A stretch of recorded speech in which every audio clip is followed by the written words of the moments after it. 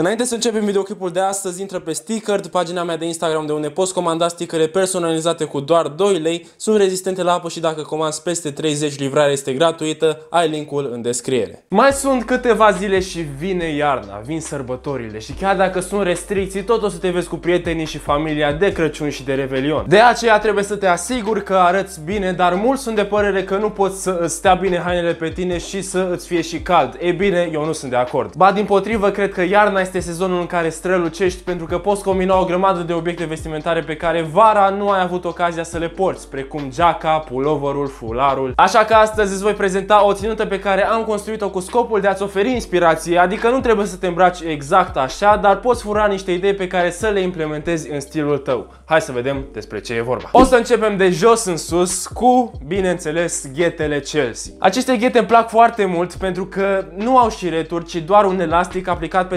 despicătură care se întinde și revine la normal după ce te-ai încălțat. Faptul că nu au șireturi le oferă un aspect mai curat, mai simplu și mai modern și se potrivesc cel mai bine cu restul obiectelor vestimentare despre care vom vorbi. Dacă vrei să-ți cumperi unele, îți recomand să le iei prima dată pe cele negre pentru că sunt cel mai ușor de asortat și ai grijă să aibă o căptușală mai groasă pentru iarnă. De asemenea, ia-ți unele din piele naturală sau piele falsă pentru că prin cele din piele întoarsă sau alte materiale mai moi va intra apa foarte repede atunci când plouă sau când ninge. Ale mele sunt din piele naturală și le-am cumpărat din magazinul Geox cu 500 de lei, cele mai scumpe piese din toată ținunta pentru că mereu vrei să ai încălțăminte de calitate. Mai departe avem Blugi pe care toată lumea îi are, dar nu toată lumea are perechea perfectă. Rare ori se întâmplă să-ți vină perfect de cum îi cumperi din magazin, așa că eu ca să mă asigur că mi se potrivesc îi duc la croitor și asta te sfătuiesc și pe tine. Croitorul îți va lua măsurile și va scurta și îngusta atât cât trebuie. Costă în jur de 20 de lei. Iarna Blugi trebuie să aibă o nuanță închisă, fie că sunt negri, gri sau albaștri. De asemenea, materialul trebuie să fie mai gros și evită blugii rupți pentru că dacă bate și vântul, îți vor îngheța picioarele. În cazul meu, blugii sunt mai largi pe coapse și mai strânși pe gleznă, iar lungimea lor depășește gurile ghetelor cu doar 5 cm. Faptul că sunt mai strânși pe gleznă și nu foarte lungi face ca ghetele să iasă mai mult în evidență. Dacă blugii erau mai lungi, practic nu puteai să-ți dai seama că por ghete în picioare. Am cumpărat perechea asta din Pull Bear cu 100 de lei și bineînțeles costul croitoriei 20 de lei, în total 120 de lei. Mai departe avem Helanca sau puloverul cu gât răsfrânt, care e tare din două motive. 1. Arată super mișto și n-am văzut mulți băieți care să-l poarte și 2. Îți ține ca la gât și salvează bani pentru că nu mai trebuie să cumperi fular. Un alt motiv pentru care am ales Helanca pentru ținuta asta este că se potrivește cel mai bine cu cizmele. Dacă te uiți în orice revistă sau pe orice site de modă masculină, vei vedea această combinație. Helanca și ghete Chelsea. Eu am luat-o pe beige pentru că e o culoare care se potrivește bine cu maroul, adică culoarea Geci. De obicei eu în fiecare an îmi cumpăr toate hainele din magazin, fizic,